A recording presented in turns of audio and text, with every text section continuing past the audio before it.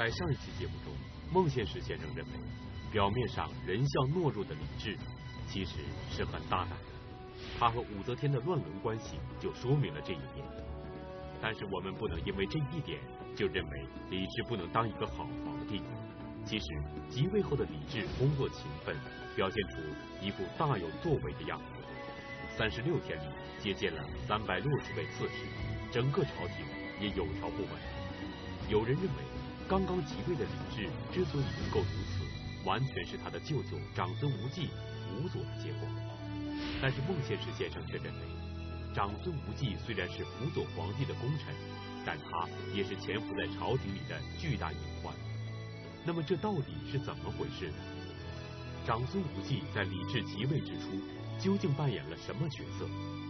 中国人民大学国学院孟宪实副教授做客百家讲坛，为您揭秘。唐高宗精彩讲述系列节目《唐高宗真相之舅舅当家》。上一集我们讲到，高宗上台伊始，很勤奋，很努力，三十六天接见三百六十个刺史，也是关心民间疾苦。效果怎么样呢？两个字：不爽、郁闷。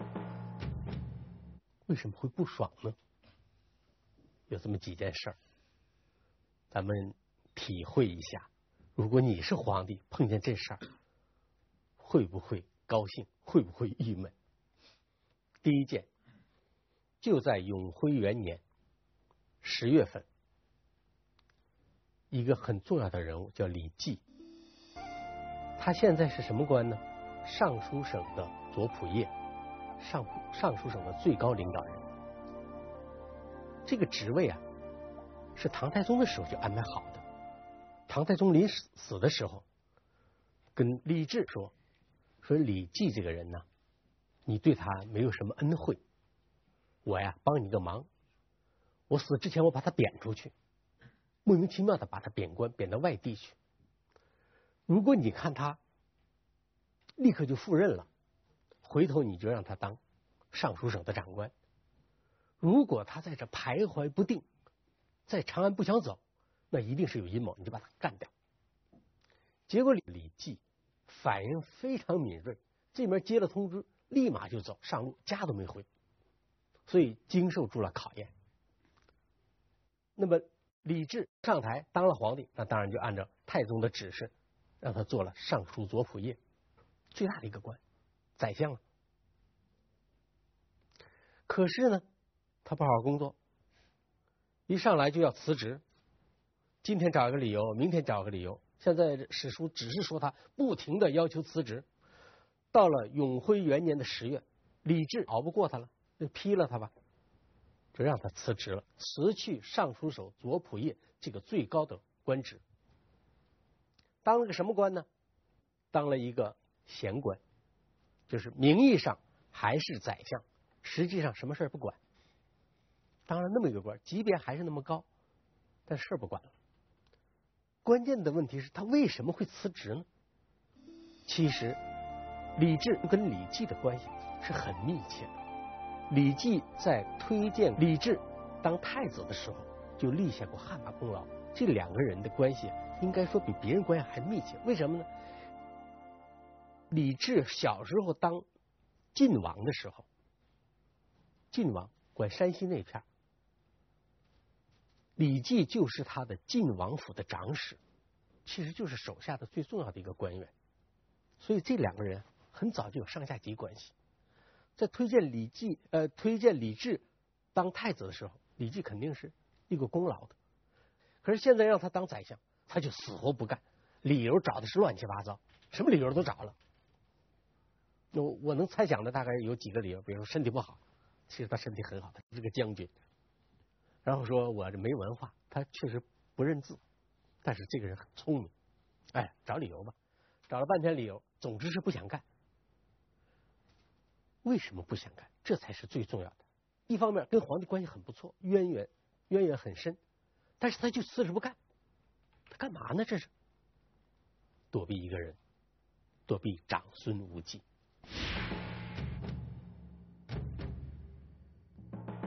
就是为了躲避长孙无忌。李治知不知道呢？说不出来，但是心里是知道的。可是翻来覆去也没有办法，留又留不住，所以十月份，李绩辞职了。李治心里不舒服，为什么呢？所有的皇帝都希望大臣之间的关系能够平衡，如果哪头独大了，这皇帝就不舒服，那就叫不爽。他遇到第一件事，李绩辞职，不爽。就在这一个月，李绩刚刚辞了职，第二件事就发生了。褚遂良犯了个案子，犯法，干什么事儿呢？他强买了自己属下人的一套房子。长安唐代的时候，那个住房也很贵的，一般的官员买不起房，买不起房，一般都当了司局级干部了，大概才可能有住房。早期啊，大家都是租房住。房子，所以在唐代的时候是一个重要的财产。褚遂良买了自己手下一个官员的房子，基本上属于强买。如果从他这个意愿来讲，那就是强买；从对从对方来讲呢，也可能是贿赂他，因为那是个异域人，是一个翻译官，中书省的一个翻译官。中书省有翻译官，归褚遂良管。褚遂良就把他家的房子给强买了，用很便宜的价钱买了，买到手了。这个事儿是犯法的，所以就被御史给告了。御史告了呢，哎，在审理这个案子的时候啊，问题很多。最主要的一个问题是，管案子领导越到上层领导，越帮忙，帮谁忙呢？帮褚遂良的忙。最开始把这个案子判了，判多少呢？判一年徒刑。一年徒刑可以不执行，按照唐代的法律是罚金，就是罚铜二十斤，这是唐代有规有规定的。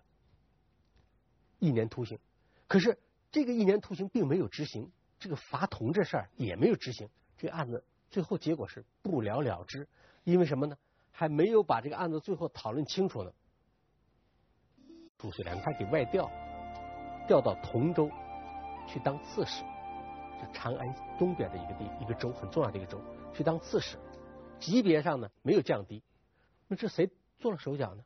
肯定是长孙无忌，安排他走了，这案子就没法判了。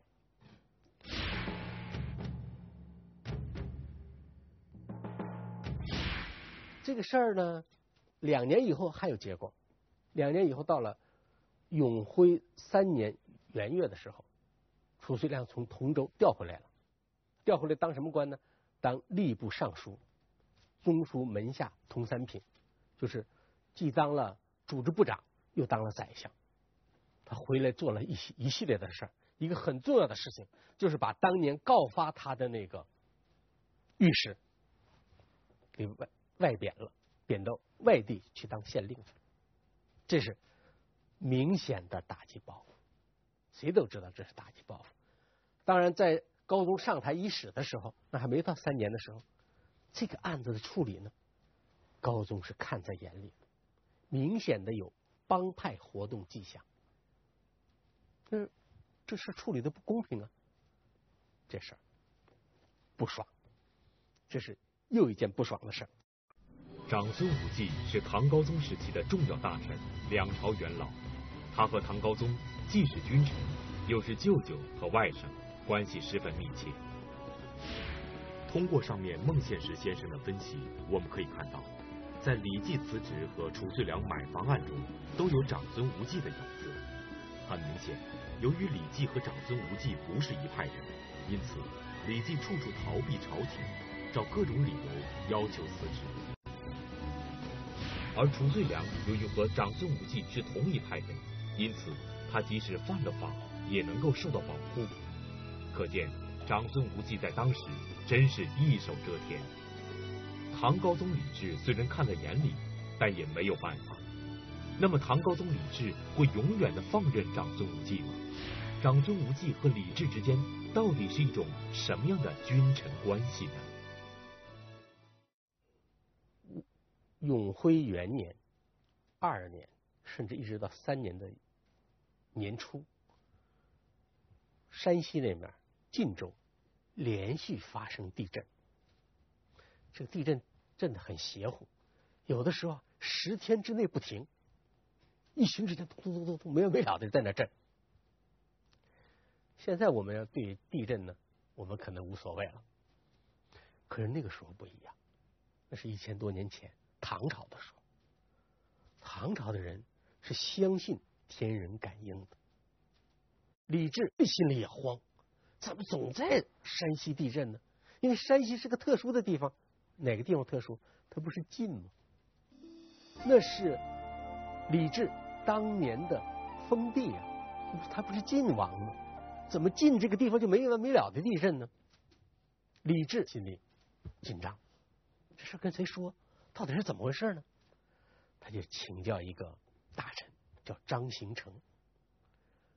这个张行成呢，跟长孙无忌啊，看来不是一伙儿。他跟李治跟现在这个皇帝关系还是比较密切。比如说，李治那年继位的时候，扶着皇帝登上宝座的就是张行成。所以张行成给李治分析这个晋州地震呢。底是怎么回事？有可能是怎么回事？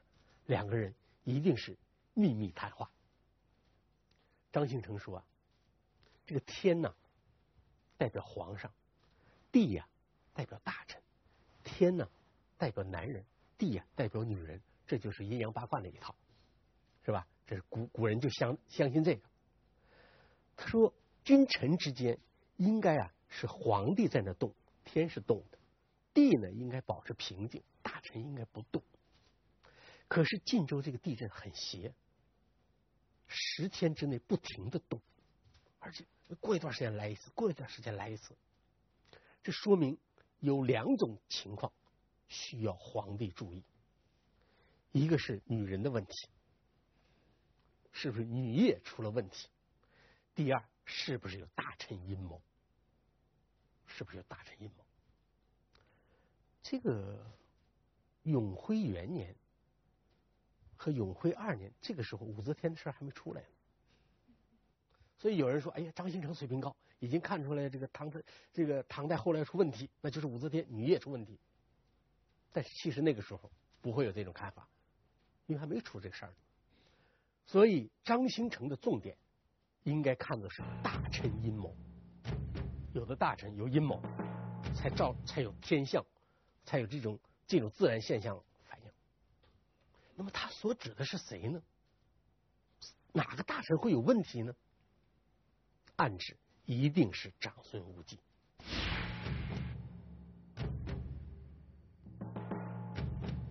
因为长孙无忌那个时候是大权在握的。李治听了张兴成的话以后，他采取了一个措施。那这个措施针对什么呢？不是针对女人的，而是针对大臣的。他就立刻下令。要朝中的大臣、满朝的文武给朝廷提意见，这不正是唐太宗的时候的传统政策吗？希望大家都提意见，给朝廷提意见。可是他这个提意见是不是有针对性的？一定是有针对性的，就是针对大臣阴谋来的。大家上书啊！给皇帝出主意啊，指出朝廷的办朝廷的问题呀，哗哗哗上来很多书。李治一看傻眼了，怎么傻眼了？上来的他想希望大家提的意见方面压根没有，这事儿也奇怪。满朝的文武这么多人读书的人，对朝廷很熟悉的人，他们怎么提不出好的意见来呢？纳闷纳闷于是，李治去找长孙无忌，跟长孙无忌不叫摊牌，找长孙无忌谈话，就把这个事儿和自己的所思所想啊，简单的跟长孙无忌谈了。这个呢，长孙无忌的传记里面记载下来了，说我现在效仿老皇帝的办法，开尚书之路。希望大家都来写报告，谈谈天下的事儿。可是现在上来书倒是不少，没有什么有价值的，这是为什么？这是为什么？问长孙无忌，这个话呀，你得仔细分析，提不出好正确的意见或者有见解的意见，有两种可能：一种大家水平低，看不到问题，那你当然提不出什么意见；另外有真知灼见的意见提不上来，这又是一种可能。你比如说，有没有可能这个线路不畅通呢？有没有人按下私底下做了工作，所以别人不敢提意见呢？所以这种问话呀，里边都有一定的深刻的内涵，但是不能说。我们看长孙无忌是怎么回答的：“陛下继位，正化流行，调试律令，故无一缺。”长孙无忌的观点是：陛下继位以后，我们的政策呀。没有任何失误，所以那些人企图期望通过一条建议，侥幸的获得皇帝的提拔的人，当然他提不出什么了不起的意见。他是这么说。那么想一想，这个跟李治要求大家提意见的初衷正好是相反。李治认为朝廷没问题吗？不李治正是认为现在朝廷有问题，才希望大家来提意见。可是长孙无忌说，朝廷没有问题，所以意见白提，提不上来。如果没有问题的话，那就是长孙无忌做的好，因为长孙无忌是只管执掌朝廷的，他是代表朝廷，政府的首脑，皇帝是国家的首脑。对于长孙无忌这个回答，李治很不满意。就追问了一句：“哦，你说我们没有问题，但是我怎么听说朝廷中有司啊有关部门呢，在做事情的时候犹看颜面，看别人的眼色，不能进宫，不是公平的来做事儿。我怎么听说有这样的问题呢？”你说没问题，啊，一点遗漏没有。可是皇帝直接把问题点出来了，有帮派问题，有帮派，你向你们关系好，你就向着他；你关系不好，你就排挤他。这就是前面那两个事都有这个问题。李济不是这一派的，受到了排挤；褚遂良是这一派的，受到了保护。这不就是帮派吗？朝廷中在帝国政治下。最麻烦的问题，最讨厌的问题，其实就是帮派问题。一旦有了帮派，大家就会置朝廷大利益不顾，置国家的利益于不顾，只关心小党派的利益。有的时候会因为小党派的利益坑害国家利益，所以这是很严重的问题。李治把这个问题提出来了，那我们看长孙无忌是怎么回答的。长孙无忌的回答是这样。说是小小的看一看颜脸面，大家考虑一下情感关系，这样的事情啊，也不能说一点没有。可是呢，这是人情常态啊，人有关系，关系有远近，是吧？所以关系近的人，哎，稍微照顾一点是可能的。所以他说，稍稍的照顾一点颜面这样的事儿，连陛下也不能避免。也避免你能避免一点没有吗？不可能的。但是说结党营私、党派派系这个事儿是绝对没有的。嗯，刚才讲了，帮派问题是朝政中的一个大问题。我们看长孙无忌和李治的关系，在这个问题上的看法是什么样的？严重分歧。甚至是冲突的。李治认为有帮派问题，长孙无忌认为没有帮派问题。李治认为有帮派问题，所以照顾情面。他说照顾情面的事人人都有，皇帝也有。皇帝肯定是有什么这个把柄被人家长孙无忌抓住了，所以这么说的时候，李治也没有说话。下边怎么讨论了，就没有继续下去，没有继续下去。那么我们仔细的分析这里面的问题。这个时候，长孙无忌，他既是托孤大臣，又是李治的舅舅。在这个李治当年当太子的时候，是长孙无忌，等于是长孙无忌一手把他推上去。所以，长孙无忌对这个当今的皇帝功劳是天大的，所以他很有权威，一点都不假，一点不假。那么现在。朝中的问题是什么呢？我们来总结一下，我给他概括一下，叫什么呢？叫做永徽政局的基本症结所在，就是君臣二元政，两个头，两个头脑。比我们都知道，君主制度下，他应该是一个头脑，一个首脑，是吧？权力是一元论的，就是大家都。归在皇帝的这个下边，听皇帝指挥。皇帝是这个所有权力的真正持有者。可是永辉的情况是什么呢？名义上李治是皇帝，这没有说的。可实际上大权都掌握在长孙无忌手里。长孙无忌虽然是独揽大权，但是他又是个大臣。所以呢，实际和法理成了两套两面皮。大臣掌大权，皇帝没有实权。可是名义上、法理上，皇帝又应该有实权。这不就是矛盾吗？这不就是永辉的基本矛盾？基本矛盾。李治对这事儿了解不了解呢？了解，可是他要怎么做呢？他有没有决心说得跟长孙无忌拼吧？也没有那么想。很多人都看出了这里面的问题，对吧？有人看出来了吧？张兴成为什么说大臣阴谋啊？用地震做掩护，从地震弹开去，就说有大臣阴谋的问题。大臣所指谁呢？只能是长孙无忌。因为他权力太大了。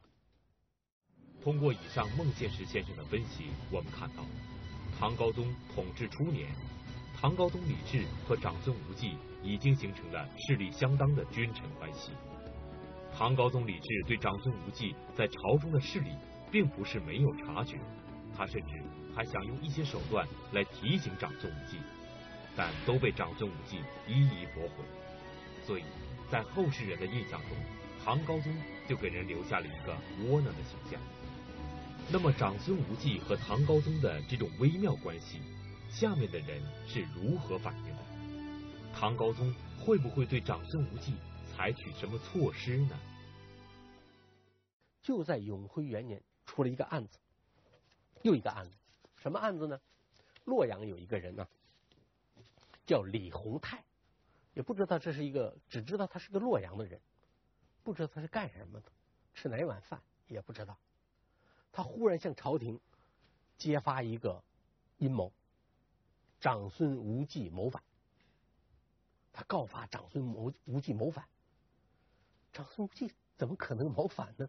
掌握那么大的权力，他谋反干嘛？不可能谋反。李治怎么处理呢？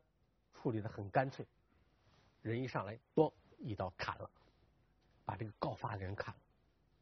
为什么呢？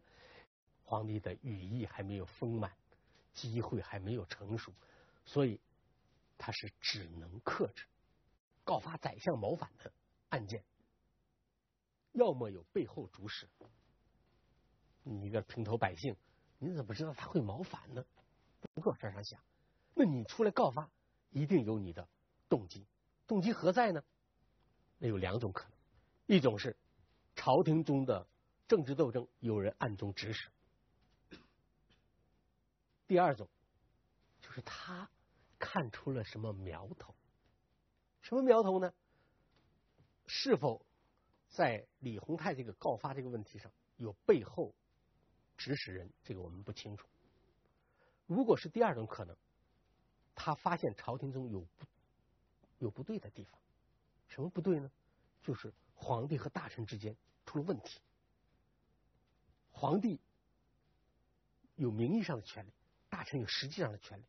他想通过这次告发来获得一个意外的政治资本，是什么呢？那就像打赌一样，他打赌皇帝和长孙无忌现在矛盾已经到了这个时候，已经到了正面冲突的时候，皇帝可能要收拾长孙无忌，但是他苦于没有借口。我现在告发长孙无忌谋反。这就是给皇帝提供一个借口，皇帝就可以利用这件事把长孙无忌干掉。嗯，一般是这样的，否则的话，那是冒着生命危险的。可是这次火候没掌握好，来早了，来早了，结果被皇帝一刀给砍了。这件事再一次证明，永徽期间的政治结构是有问题的。是有问题的，从头到尾都是这样。长孙无忌一派完全掌完全掌权，李治虽然是名义上的皇帝，但是什么事儿做做不了主，所以这个二元政治结构就成了这个时代的基本问题。李治对于这种结构，对这种状态，他是怎么样的呢？他会采取什么样的措施呢？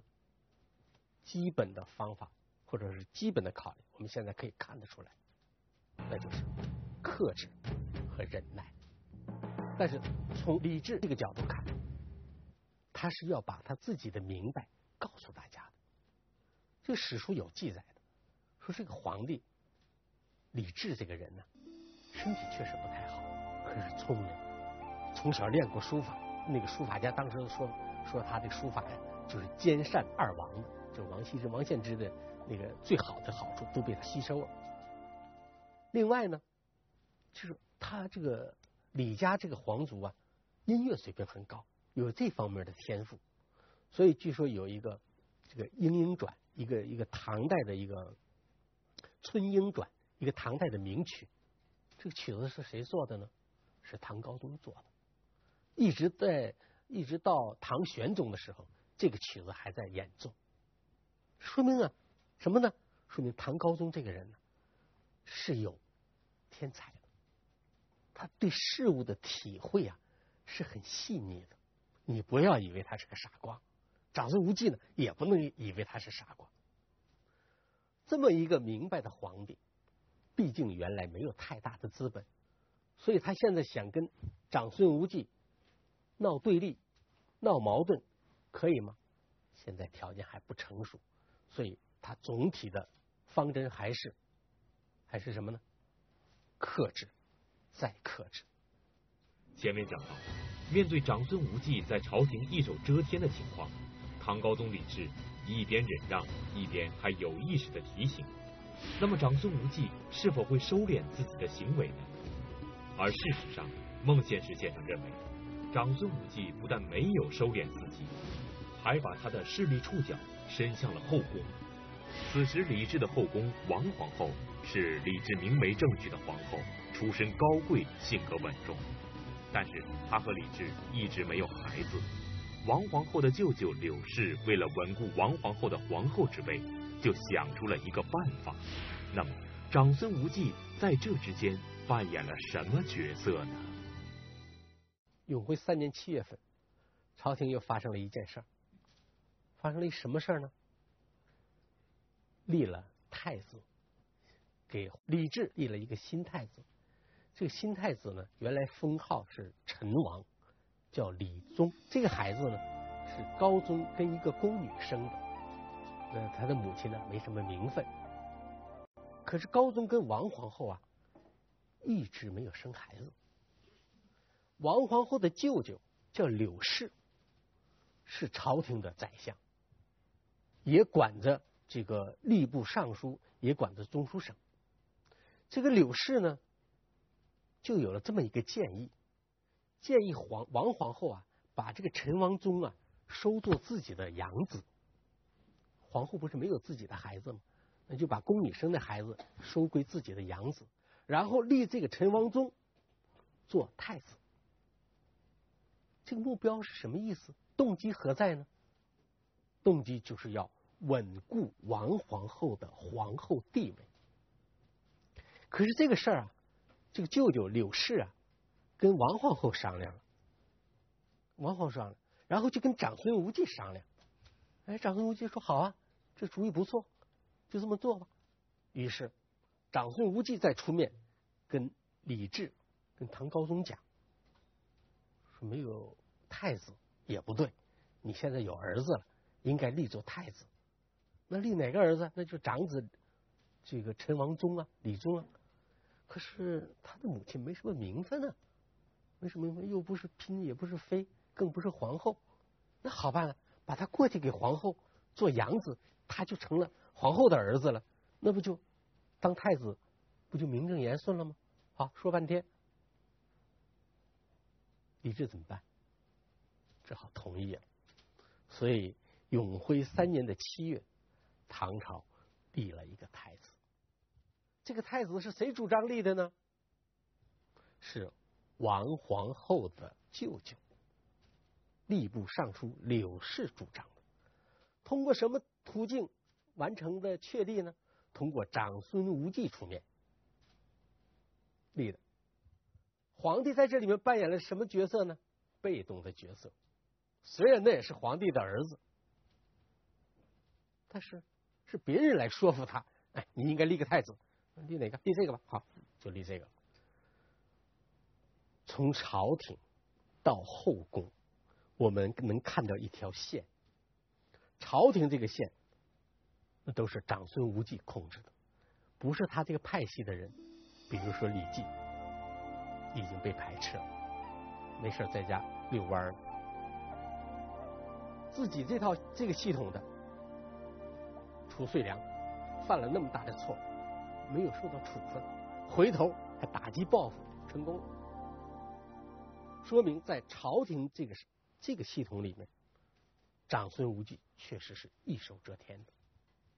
好，后宫呢，这是另外一条战线，后宫的战线显然跟朝廷的战线已经连为一气了，连连成一体了，连成一体，皇后。皇后的舅舅长孙无忌，哎，他们是连在一起的，把他们把确立皇太子这么重要的事情，不是首先跟皇帝商量，而是他们先商量，他们商量了，跟皇帝去安排，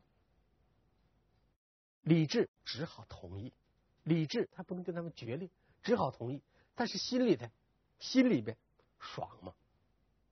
不爽啊！我现在朝廷大臣的事儿，你都全安排了；我现在的事儿，你都安排了；后边的事儿，太子的事儿也都给安排了，你都安排了。皇帝安排什么呀？皇帝没有可安排的。